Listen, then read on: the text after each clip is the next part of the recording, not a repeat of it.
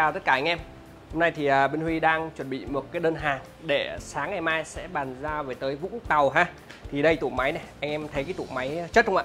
À, tủ máy này thì à, đi con mixer à, CMF 1006 và anh khách là có đặt thêm cái tủ cắt C đây là cái tủ cắt C rồi mọi người. Đó để cái mixer vô thì nhìn khá là hầm hố đúng không ạ?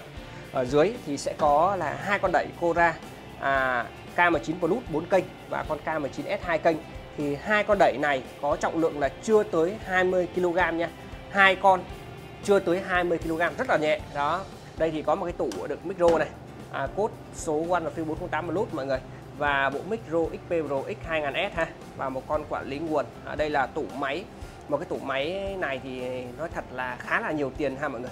Đẩy này thì à, 22 triệu một con. Con K19S thì 20 triệu à, cốt là 11 triệu anh em này. Đó nói chung là tủ máy thì khá là nhiều tiền rồi.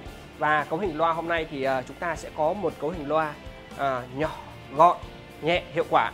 Đây là monitor 30 XP Pro. Thì uh, thời gian gần đây thì bên Huy đa số là sử dụng monitor 30 của XP Pro. Tại vì dòng này thì nó hỗ trợ cái lời mic rất là tốt. Anh em chúng ta làm loa full nha. À, làm monitor ha thì tiếng mic nó rất là hay nó thoát tiếng mic nó còn hay hơn dòng 40 nữa. Chính thế là những cấu hình gần đây thì bên Huy đa số là lắp monitor 30 XP Pro. Và cấu hình loa chính mọi người xúc đôi còn xúc đôi cục lọc rất là to. À, xúc hầm đôi 50 từ 280 và côn 125 ha. Con này thì khá là nặng anh em nhé. Rất là nặng à, nhưng mà nó lực nó cực kỳ lực luôn. Và kết hợp với lại một cặp hỏa tiễn One of Field à, T-Dux 121B thì hỏa tiễn là có cái tủ cắt C đây mọi người. Đây là tủ cắt C của hỏa tiễn nha. Hiện tại thì Huy lấy để kê cái monitor lên ở đây là chọn bộ cấu hình này.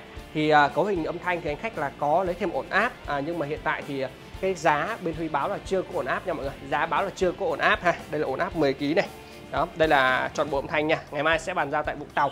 Rồi bây giờ thì à, bên Huy sẽ setup cho tất cả mọi người chúng ta tham khảo chất âm của bộ âm thanh này nha.